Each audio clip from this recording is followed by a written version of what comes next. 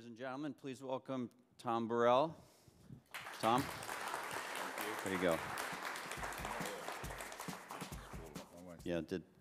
So Tom Everyone hear me? actually has the, re, the, the title of, he's SVP of the topic we've been talking about, retention. Hi, guys. Um, yeah, I'm SVP of Retention at DAZN. Um, that's DAZN. If you hadn't guessed, we're an OTT sports streaming service. Um, we operate in 200 markets around the world. Um, we're particularly strong in five territories. So in Japan, we have uh, a lot of baseball rights. We have a lot of um, uh, European football. We have J League as well, uh, exclusively on the platform. In Italy, we have all of the Serie A rights. In Spain, we have a lot of motorsport, and, and, uh, and this season, the Liga.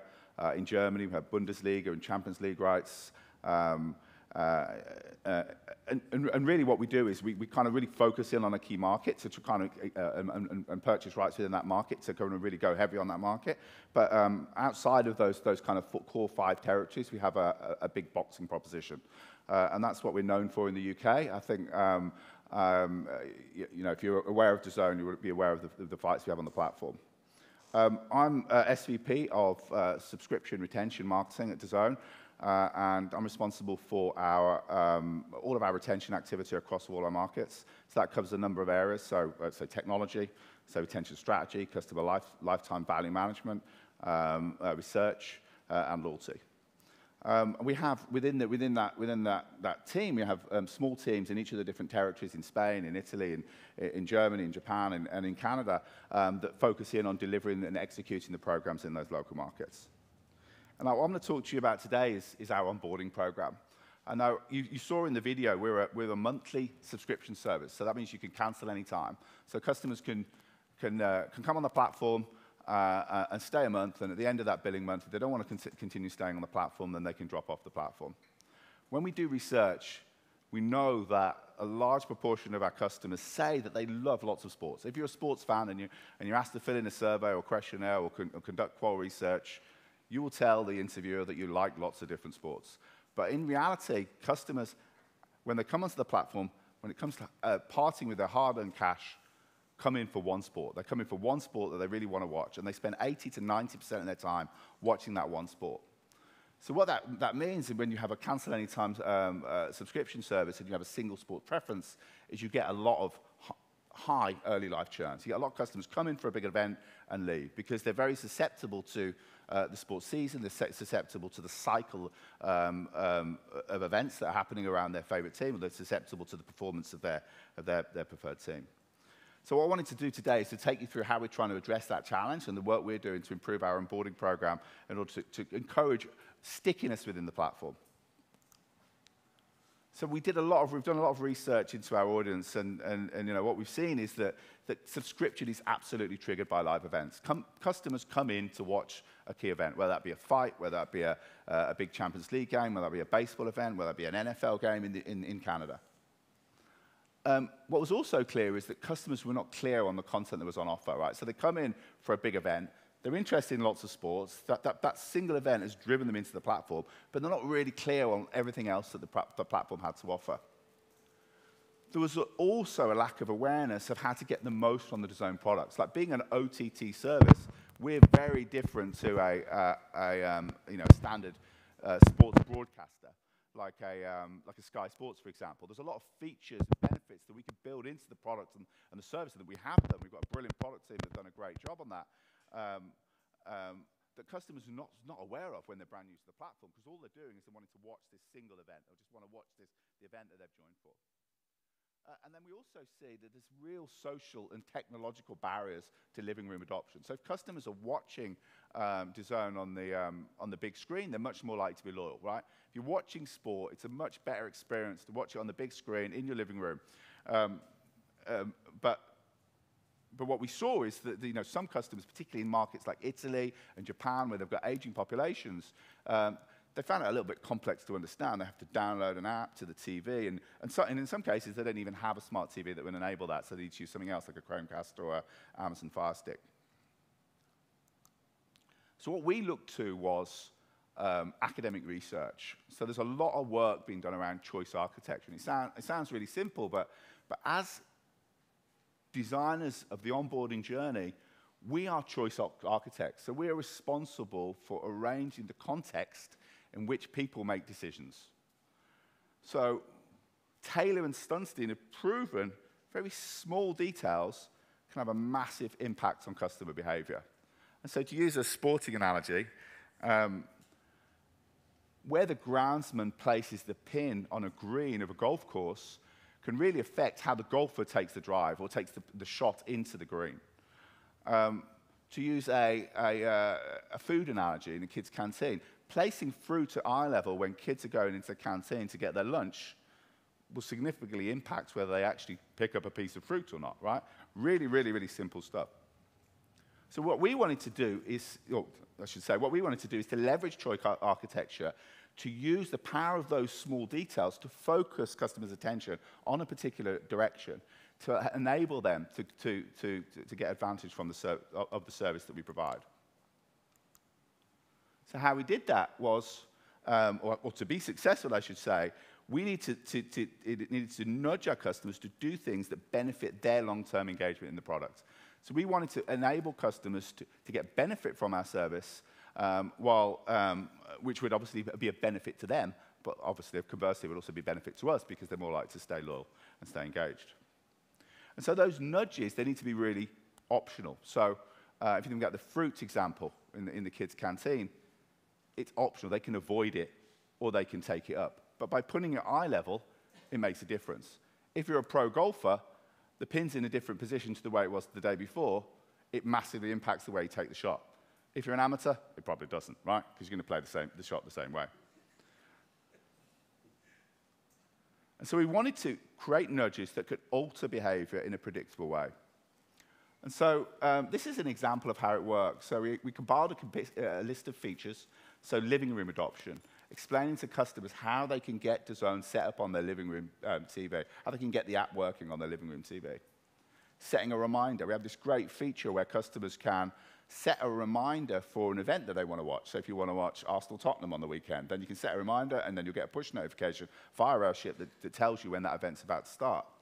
We also go a step further with the product where you can actually follow your team. So if you're, say, a Liverpool uh, fan or you, you, want to follow a partic particular boxer, for example, um, every time that, that, that team or that, that boxer's on the platform, you get a push notification to tell you that the event's about to start, including your favorite team or, or, or boxer.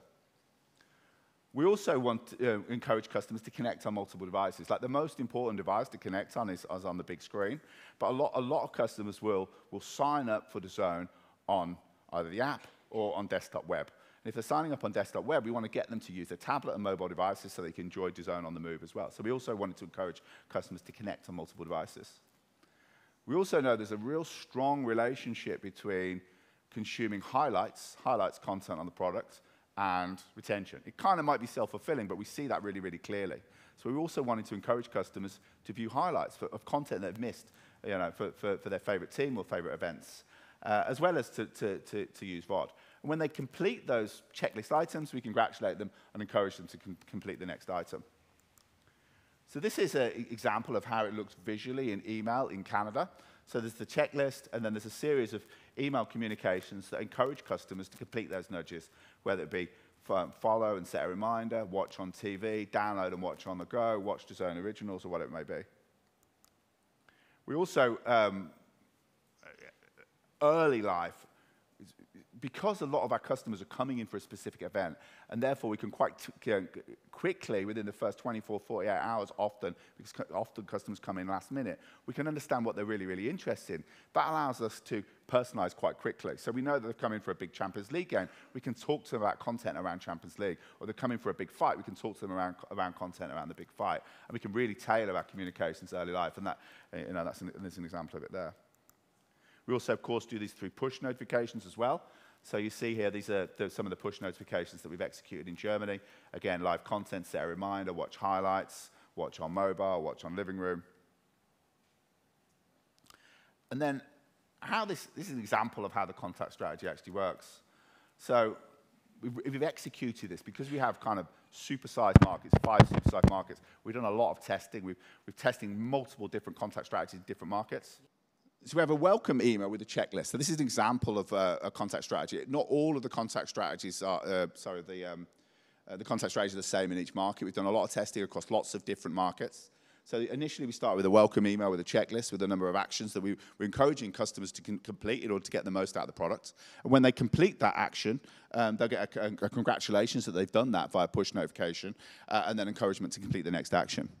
And then over the course of the first week, the very second communication they'll get after that first day is a people like you communication. Because as I said, cus customers come in for a particular event. We know they're interested in that particular event. event. They can consume that content. And very quickly, we can talk to them about things that are very relevant and, and, and you know, interesting to their profile. Then we get into maybe in the gaps between, you know, between live events. There's obviously often quite big gaps between fights, for example, in boxing. There's also gaps, obviously, between, between soccer matches, less gaps between baseball, but there is still gaps in, in, in, in our baseball activity, in, in, in NFL as well. So in those gaps, promote non-live content, like video on demand content to really kind of get customers engaged in, in, in the platform. And then at the end of that first week, we go back to customers and say, look, these are the, uh, uh the items that you complete so far. These are the next things that, that we'd like you to do. And so there's a load of different nudges that we've, we've tested, that we are planning to test, uh, and that have been used in different ways in different markets. So pay-per-view, multi-device, know, download to mobile, follow a team, key moment. Um, that's a capability where you can view the content live, but you can flick to a key moment. So if you've, if you've missed and you want to catch up on the goals, you can quickly flick back on the, on the device and, and see those key moments, whether on your TV or on your, on your, on your mobile or your, um, uh, uh on your desktop. Um, watch party as well. We have this feature where customers together, and they've all got a subscription, can watch an event together. It's like having a Zoom call together, but where you're actually watching the event. So all of these nudges are being tested in different ways in different markets. And it's been relatively successful for us. I mean, it's early days. We've been doing this for about six to nine months or so. There's a lot of testing and trying to drive, you know, long-term retention from early life engagement is, you know, is, is a challenge for us, absolutely. But we've had some really good successes. So in Japan, we've seen significant improvements in platform engagement, mobile usage, highlights consumption, and usage of the following reminder service. In Spain, we've seen significant improvements in living room consumption and use of the following reminder service. And in, in Germany, we've seen improvements in active days, duration, use of mobile devices, and watching highlights. And so we've got, we've got a few optimization plans underway as well. We, we're looking at trying to test shortening that journey, right? Because we have this higher live churn, because customers come in for a big event, and quite often it's very close to that event. How do we get that kind of onboarding journey to be really, really, really short? So they, they're using those features really, really quickly. So they're really getting into the depth of what we have available in the platform, and that's something we're really we're working on. We want to look as well, because this has only been running for six to nine months, at the, at the relationship between feature users and long-term retention. So can we predict, I mentioned highlights, we know that highlights has a positive impact, but can we can predict that you know, through a combination of feature usage, we drive, drive better retention? We also like deeper product integration, including uh, in-app uh, push within the living room devices as well, uh, as well as greater message center integration within the, within the product. Uh, we also um, are looking at building a specific onboarding journey for resubscribers. As I mentioned, customers often dip in and out of the platform because of um, uh, they're coming in for major events. So we don't currently send this program to resubscribers because they're already familiar, in many cases, the, the, number of the features. But what we'd like to be able to do is to build tailored uh, onboarding journeys so that if you were on the platform um, previously and used three of the different items on the checklist, there's another two or three that you haven't used yet, or we've released new features, we encourage them to use those new features. Um, and then also like to bring this nudge approach into the products um, uh, with a percentage feature usage metric. So uh, I'm sure everyone's familiar with LinkedIn and the, um, and the way in which that drives you to use the products and services is you know, very similar to that in terms of the, the principles where you have a kind of percentage profile complete. We'd like to bring that kind of capability into the, into the, into the product as well. So that's a kind of real quick rattle through of, of what we do in in, in terms of our onboarding journey.